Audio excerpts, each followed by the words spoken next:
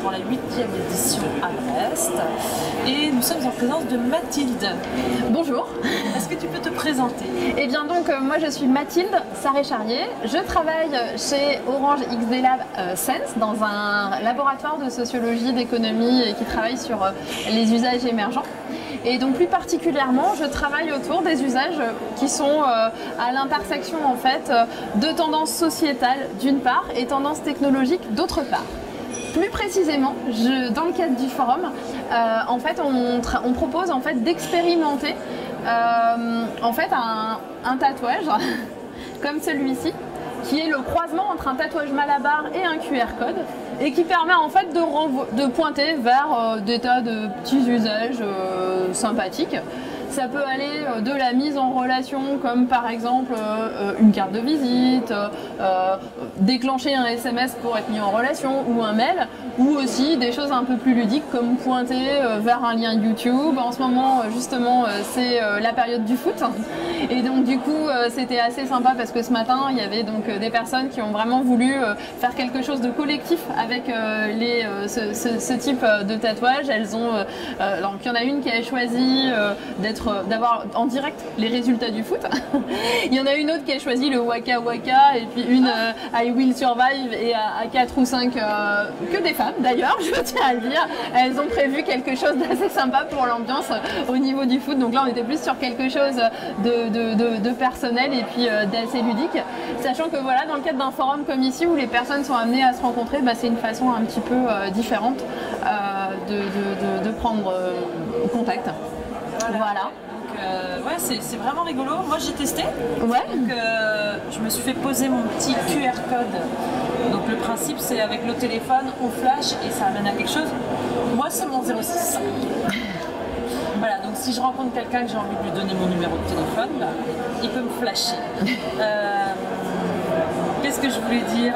Est-ce que ça vous mène à une, une étude sur... Oui c'est un travail de recherche. Peut-être plus précisément, ce que je peux vous dire, c'est que euh, ce travail, en fait, il s'inscrit en fait euh, au croisement d'une tendance sociétale qui est la banalisation du tatouage dans la société occidentale.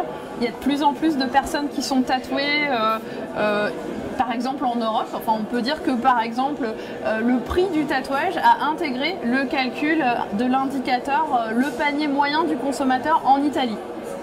Cet indicateur-là était autrefois appelé panier de la ménagère. Il a été renommé. Bon, je le dis parce que pour certains, c'est peut-être encore parlant.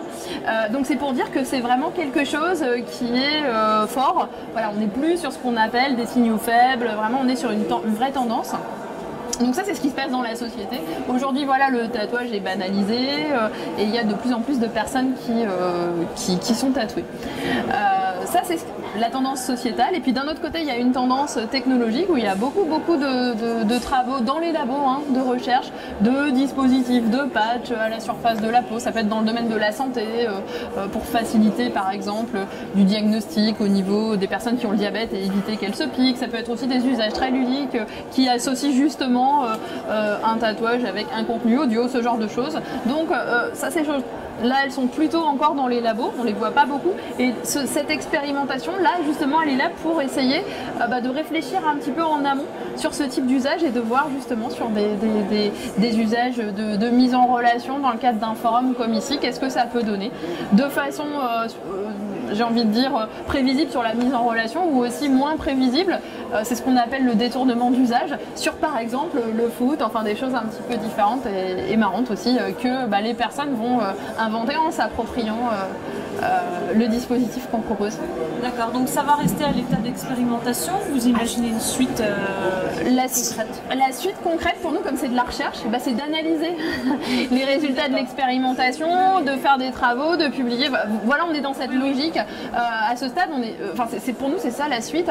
Essayer de voir aussi euh, bah, quelles questions ça amène, d'être confronté justement à quelque chose d'un peu réel, et plutôt que de se dire voilà, il y a ces deux tendances là, qu'est-ce qui se passe au milieu? Parce qu'il y a déjà hein, des, petits usages comme ça qui, qui On appelle ça des signaux faibles hein, en prospective.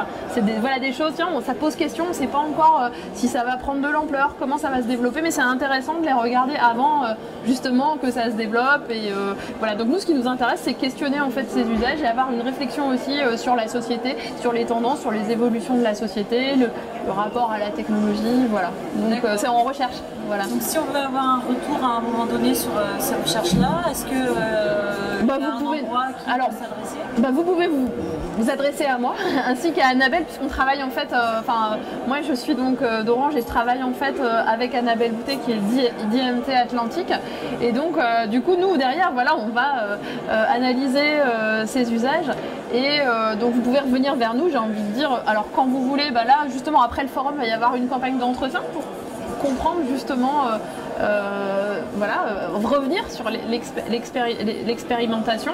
Entretiens qui vont se dérouler alors du fait des vacances plutôt en juillet et ensuite en septembre et par la suite il va y avoir un travail d'analyse. Donc j'ai envie de dire que bah, après le travail d'analyse, si, si ça vous intéresse en tout cas, vous pouvez revenir vers nous euh, avec plaisir. euh, euh, voilà, et donc l'idée derrière c'est qu'il y ait des publications associées, enfin voilà. D'accord. Bah, on indiquera vos coordonnées si, si vous êtes d'accord Ah bien sûr, ouais ouais ouais. pour les gens qui sont intéressés. Ok, avec plaisir. Bah, merci beaucoup. Bah, je vous en prie, merci Bonne à vous. Merci.